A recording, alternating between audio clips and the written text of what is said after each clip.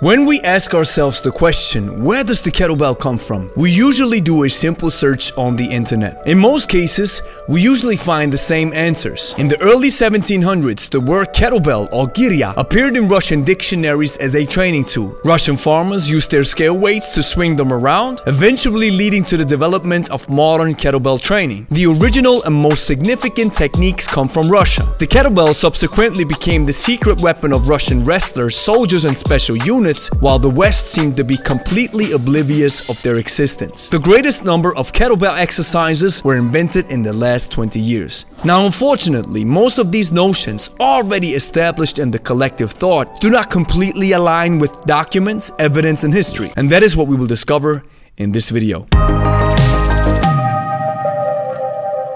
Grüezi miteinander, Gregory von Lebe Stark here. We're all about kettlebells, so if you are into kettlebells, then like the video and consider subscribing.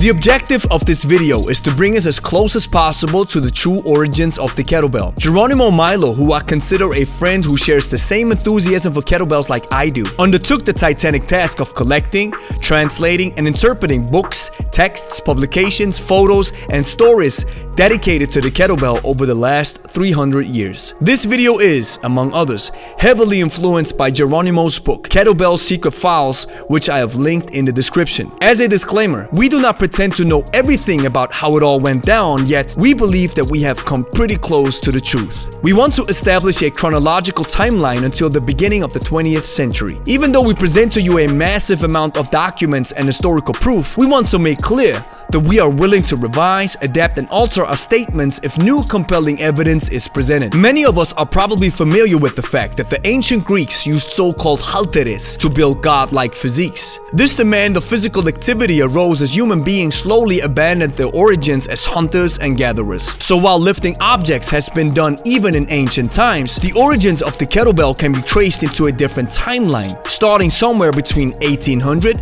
and 1880. While it seems to hold true that that the predecessors of the kettlebell we use today were used as scale weights on global markets, we want to turn our eye to the geographical locations of where it all began. Interestingly enough, we can conclude that the Europeans, namely the Germans, Austrians, Polish, French and English, contributed the most to the popularization of kettlebells, weight training and strength athletics in general. Amazed by massive feats of strength from European strongmen and strong women, pivotal figures of Tsarist Russia decided to travel throughout Europe to learn more about this new art of strength and physical culture. Their findings seem to be the most fundamental reason as to why the kettlebell was further cultivated in Russia, as we will discover later in the video. This predisposed focus on kettlebells of great Russian teachers, bringing some sense of order, structure, and method to the madness, would perhaps make a difference in the future of this tool in Russia. While it may be true that farmers all over the world started tossing around scale weights for fun on fairs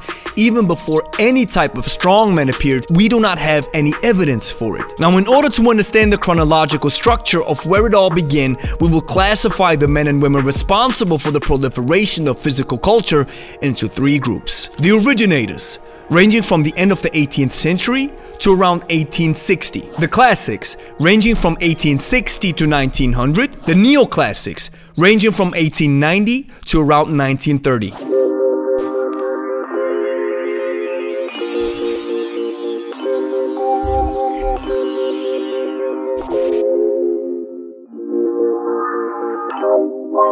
In the German Turner movement, we find the first description of weight training exercises similar to those performed with spherical objects, weights, and equipment of similar nature. Johann Friedrich Gutsmuth was one of the first great physical training theorists of this period. Muth exerted great influence on Friedrich Ludwig Jahn, who would eventually become the father of German gymnastics.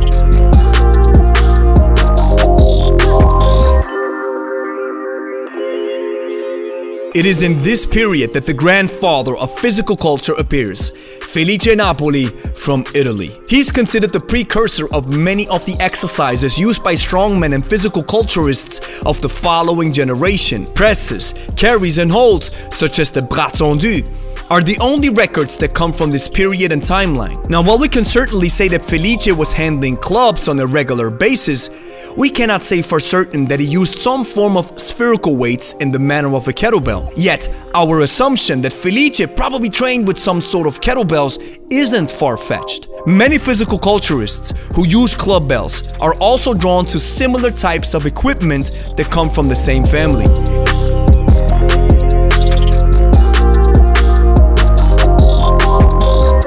We are foolish to assume that lifting heavy objects was an activity exclusively reserved for men. Elise Serafine Luftmann was probably the first woman to engage in power juggling and lifting ring weights. She's perhaps the first person to be portrayed lifting a tool relative to the kettlebell. Originally from Bohemian Germany, she was a performer who made appearances throughout Central Europe, famous for lifting heavy objects and for power juggling with cannonballs.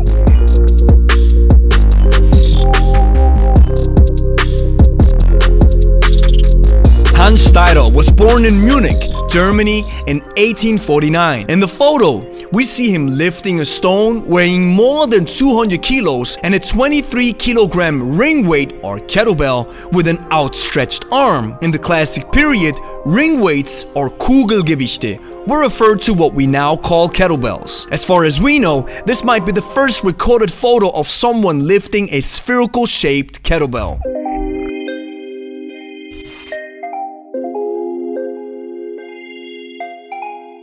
One of the most important figures of physical culture is the legendary Professor Attila from Germany. He is probably the first person to perform feats of strength with spherical shaped weights that look a lot like the kettlebell we use today. Attila's contribution was so important that we have to list his accomplishments in 8 designated bullet points. Number 1. He made an invaluable contribution to the physical culture movement in Europe and the United States during the late 18th century. Number 2.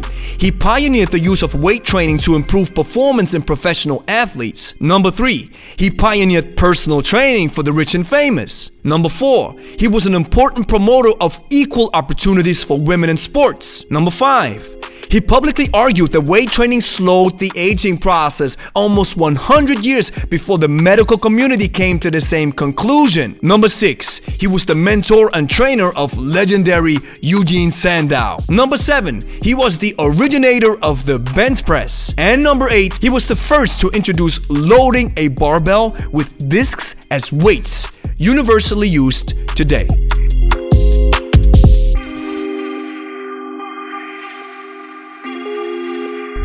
Eugene Sandow is considered the father of modern bodybuilding and the first bodybuilder in history, and also probably the first person who performed the snatch with a kettlebell. His iconic pose features a kettlebell where he holds it overhead, standing in some form of a lunge to show off his physique. While he was not the first strength athlete and certainly not the strongest, Sandow was the first to perform in shows where the goal was to show off the muscles. Theodore Siebert also mentions in his book, The Catechism of Athletics from 1899, that Sandow was equipped with a handsome face, which gave him a considerable advantage that he consciously utilized with his skill as a marketer. We can say that Eugene was to bodybuilding what Pavel Tsatsouline was to the kettlebell. Eugene Sandow's training books were the gateway to physical exercise for millions of people around the world at the beginning of the 20th century.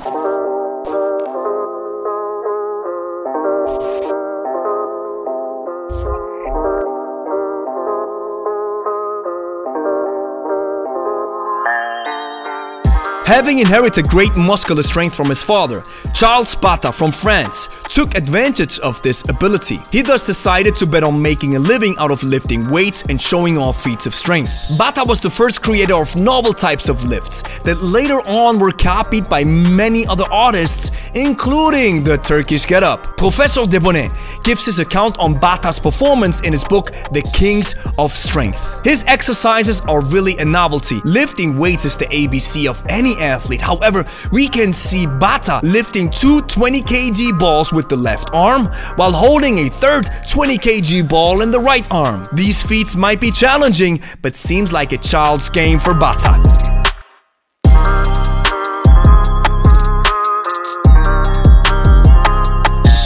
Frenchman Apollon Louis Uni had no specific or order training. He was simply dedicated to beating any of the strongman records of his contemporaries. In a series of performances, he met and received praise from the greatest exponents of physical culture of the time, such as Charles Batta and Eugene Sandow. Apollon did not develop a method or way of training, only his weightlifting photos remain, and in the photos of the book The Kings of Strength by Desbonnet, we find these photos where he shows a difficult version of the bras tendu with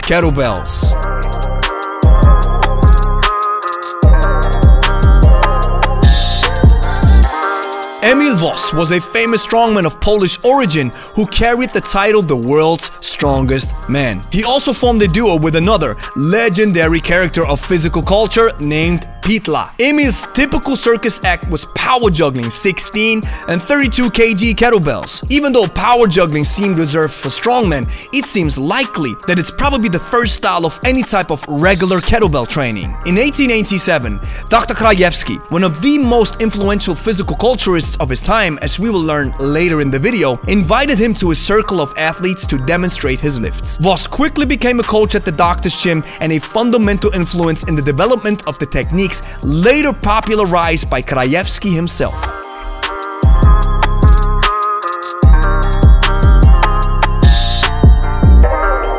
Theodor Siebert was a German pioneer of weightlifting and physical culture. His book, Catechism of Athletics, that was first released in 1899, had a tremendous impact on strength training and strength athletics in general. In his work, he not only listed the most famous contemporaries from that time period and their feats and records of strength, he also shared valuable insights on using a regular, periodized training system with detailed weight recommendations and exercises. The word Kugelgewicht which means kettlebell in English, is frequently mentioned in the exercise form of curls, cleans, and snatches. He pioneered the pistol squat and mentioned in his book that he is striving for a global appreciation for weightlifting and feats of strength. If this worldwide acknowledgement would ever be the case, he would be more than delighted. If Theodore is watching us now from heaven above, he would probably walk around in front of the pearly gates with a huge smile on his face. Siebert's influence was also felt in one of the most influential figures in kettlebell training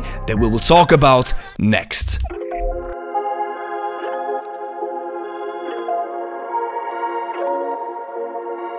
Dr. Krajewski was the first person to set up a rigorous training system implemented on the basis of scientific backgrounds. As the personal physician of the Tsar, he was able to exert great influence in Tsarist Russia, an influence that might explain why kettlebell training became a part of Russian culture. Krajewski included kettlebells in his gym on the premise that they are the only satisfactory tool for combating the unhealthy conditions of modern life, and we must remember that health is a natural companion of strength strength. The German influence on the general techniques of both kettlebells and barbells is undeniable. Krajewski mentions them as a source of inspiration in his books. His openness to new ideas led to the development of using the kettlebell as a training tool in Russia. The legendary Georg Hackenschmidt, who was a student of Krajewski and will be mentioned later in the video, described many of the attributes of the good doctor in his book, The Way to Live. His strict way of life as a physical culturist. His willingness to help everybody body, extending his knowledge and care even to those who couldn't afford his counsel. His genuine emotion and enthusiasm for feats of strength that spread to everyone being in the same room as him. On the point of his unfortunate death, the world of physical culture lost one of the greatest contributors whose legacy is still felt today.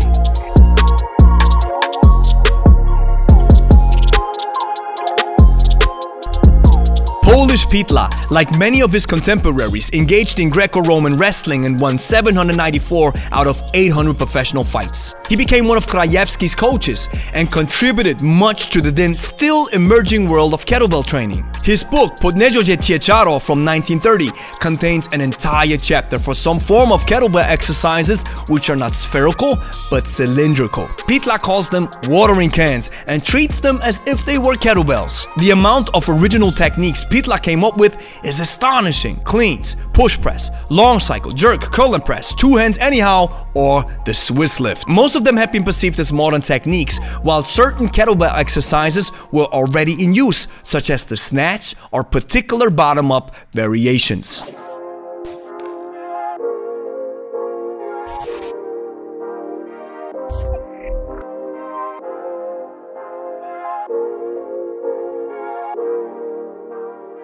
Arthur Saxon from Germany was a powerful strongman who performed feats of strength with his brothers as the Saxon Trio. He's also considered a famous contributor to the world of physical culture for his feats, as well as for writing the following two books. The Development of Physical Power in 1905, an advanced book that included workouts with barbells, dumbbells, kettlebells, and weight tools of the time, such as weighted rings, square weights, and refillable spheres or balloons. The Book of Weightlifting in 1908, which is an innovative work for the time that explains techniques on a scientific and psychological basis.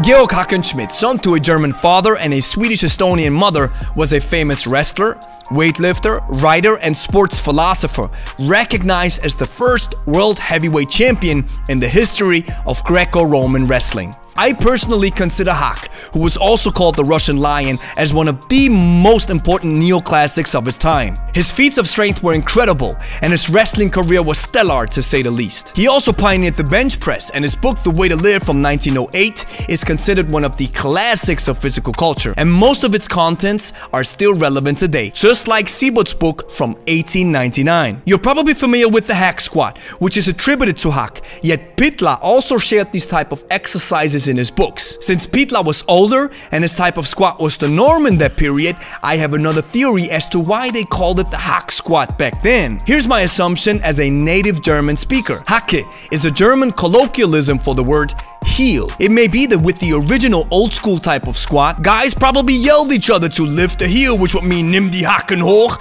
in German. This might have been the reason they started allocating the word hack to the squat.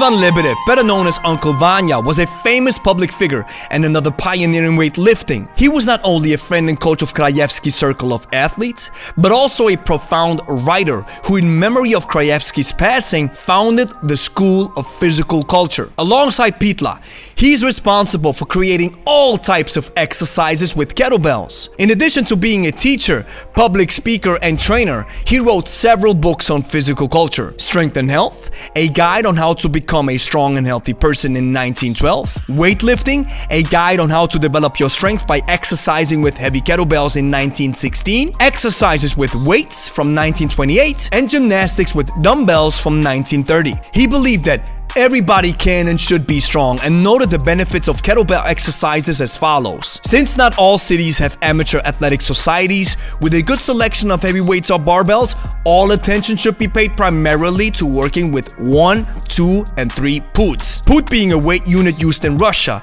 leading to the fact that he strongly advocated for kettlebell use. In previous years we trained with kettlebells no less than with barbells, and training with kettlebells gave incredible results when the athlete switched to the bar Since all kettlebell exercises are much more difficult after them, the bar seemed very easy to us. Here we have the first description of the modern what the hell effect, or as I'd like to call it, the kettlebell effect. I hope with this video, Geronimo and I were able to provide you with evidence and proof of the true history of kettlebells. While we know that the kettlebell has become a solid staple in Russian culture, we cannot, and in fact we must not forget that if it wasn't for all those European strongmen and strong women, kettlebell training probably wouldn't even exist today. It's simply a part of human nature to forget our history and where we come from, which might explain as to why people in the West were amazed when the kettlebell was reintroduced in the 2000s by Pavel, easily being sold on the idea that it must be a secret weapon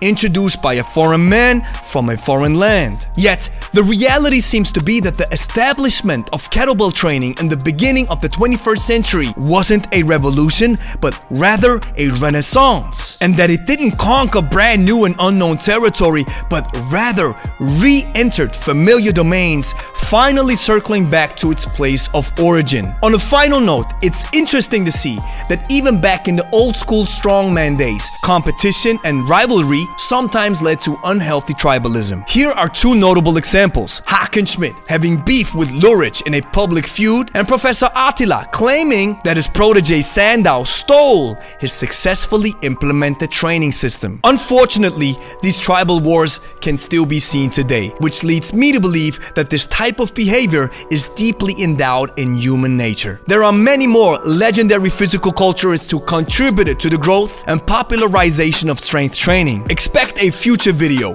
where we will cover the distance between 1900 and the modern era that we live in today.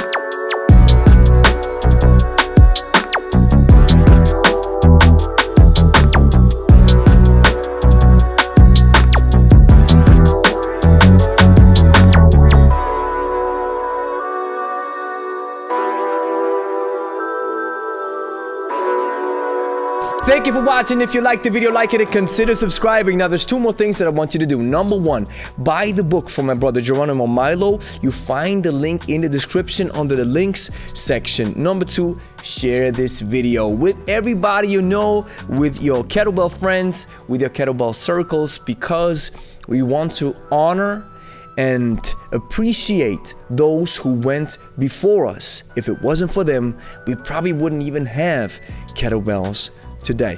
90 Days of Kettlebells is an online workout course for beginners who want to train at home, lose weight, and achieve lasting results without wasting time and money with crash diets and unused gym memberships. The program works as follows. You will do three kettlebell workouts per week that gradually increase in difficulty. You'll also build three powerful eating habits that have proven successful in our coaching. As the name implies, the program lasts 90 days and you will have lifelong access after purchase. We also include live accountability sessions where you will publicly state your goals. Psychology shows us that if we make our goals public, our adherence to the process and the program increases dramatically. If you have been struggling to put together an elaborate kettlebell workout system while trying to lose weight, then 90 Days of Kettlebells is for you. The price of 90 Days of Kettlebells is 59 US dollars per month for 3 months, and you can save 20% with a one-time payment of 147 US dollars. We'll open registration only to a small number of new clients. Join the waiting list now to get access 24 hours before the general public. Link is in the description.